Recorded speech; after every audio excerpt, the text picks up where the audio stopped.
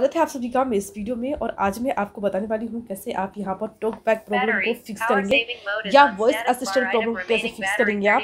Realme के mobile में तो फ्रेंड्स आगे बढ़ने से पहले एक बार और कहना चाहूँगी आप वीडियो को लाइक शेयर एंड सब्सक्राइब करना घंटी का ऑप्शन पे क्लिक करें ताकि भाई नेक्स्ट आने वाली वीडियो का नोटिफिकेशन आपको मिलता है तो यहाँ पर आपको थ्री फिंगर्स स्वाइप करने के लिए तो यहाँ पर आपको टू फिंगर से स्वाइप करना है फ्रेंड्स एक फिंगर से आप कहीं भी टच करेंगे कहीं भी बिल्कुल ये सॉल्व नहीं होगा ना मूव होगा बिल्कुल नहीं होता. तो यहाँ पर टू फिंगर से स्वाइप करना है और इस तरीके से आप आहिस्ता यहाँ से मूव कर सकते हैं.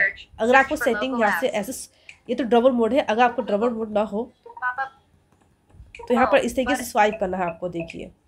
और सेटिंग ढूंढनी है आपको. इस पर क्लिक करना है. डबल टैप करना है. और यहाँ पर आपको ऑप्शन मिल जाएगा. एक फिंगर से करेंगे तो नहीं होगा.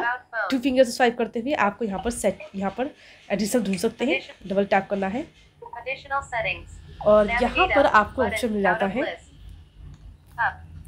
Two finger swipe and accessibility double tap on और यहाँ पर इस पर क्लिक करना है।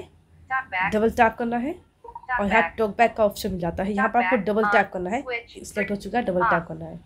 और यहाँ पर स्क्रीन यहाँ पर ऑफ़ का ऑप्शन आ रहा है इस पर क्लिक करना है। डबल टैप करना है। अब देखिए आपका जो प्रॉब्लम है वो बिल्कुल फिक्स हो चुका है। इस तरीके से आप उस प्रॉब्लम को फिक्स कर सकते हैं और इसका इस्तेमाल कर सकते हैं अगर आपको वीडियो अच्छा लगा है। तो यहाँ पर आपको बता दूँ कि अब एक फिंगर से आप स्वाइप करेंगे तो बिल्कुल आपका एक फिंगर से स्वाइप होगा।